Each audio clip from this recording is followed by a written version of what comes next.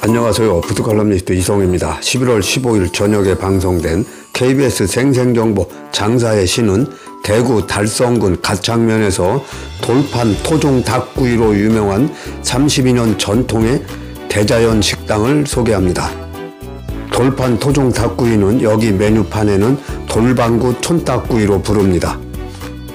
이 집은 가창면 산 중턱에 나홀로 있는 집인데요. 가정집을 개조한 식당입니다. 외딴 집이지만 찾아오는 손님들로 항상 문전성시를 이루는 곳입니다.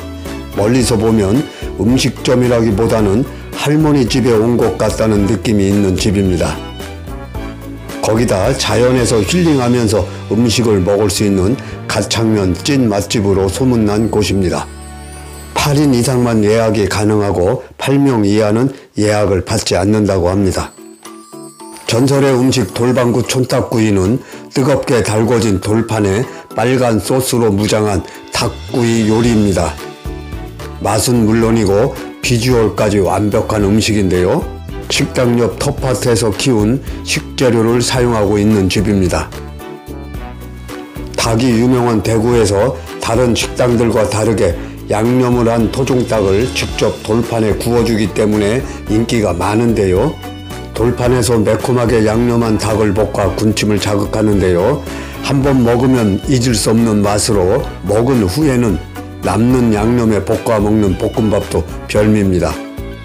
32년 전설의 맛 돌판처럼 단단한 전설 전진호 주인장은 어머니와 함께 22살 때부터 청춘을 돌판에 바친 사나이라고 합니다.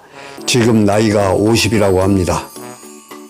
주인장은 돌판에 구우면 일반 철판보다 낮은 열 전도율로 천천히 익기 때문에 고기 자체에 육즙을 가지고 있다고 말합니다.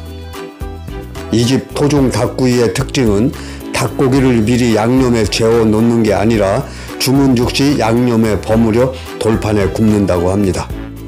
미리 재워 놓으면 닭고기에서 물이 나와 돌판에 물이 흐리기 때문에 잘 구워지질 않는다고 합니다. 27년 노하우로 터득한 비법이라고 하는데요. 전설은 쓰리고 법칙이 있다고 합니다.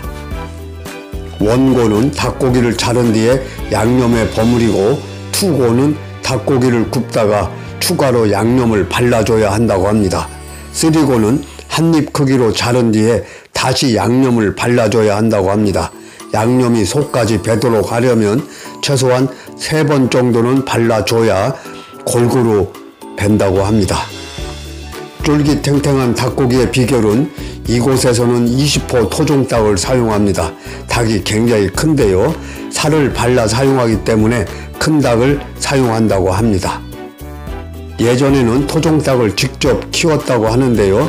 법이 바뀌어서 지금은 키우지 않지만은 그 맛을 그대로 유지하기 위해서 방목하는 토종닭을 사용한다고 합니다. 뼈를 바르고 손질한 닭고기에는 일일이 칼집을 내서 퍽퍽함은 줄이고 부드러움은 극대화시킨다고 합니다.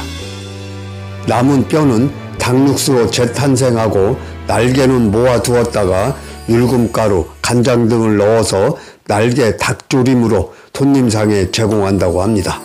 운수 좋은 날 맛볼 수가 있다고 합니다. 감칠맛 나는 양념 맛은 씨간장과 고춧가루 그리고 어머니가 직접 담근 매실청과 보리 고추장으로 만든다고 합니다. 그래서 구수한 맛도 나면서 찰지다고 합니다. 이래서 손님들이 양념 맛에 반할 수밖에 없다고 합니다. 전설은 2대를 이었지만 3대는 큰아들이 이어받아야 하는데 올해 2월 달에 신장이 아파서 입원하는 바람에 8개월 정도 가게 문을 닫았다고 합니다. 다시 문을 연 지가 얼마 안 된다고 합니다. 전설의 맛집 대구 달성군 가창에서 돌방구 촌닭구이로 유명한 대자연 식당을 소개했습니다. 구독과 좋아요 꼭 부탁드리겠습니다.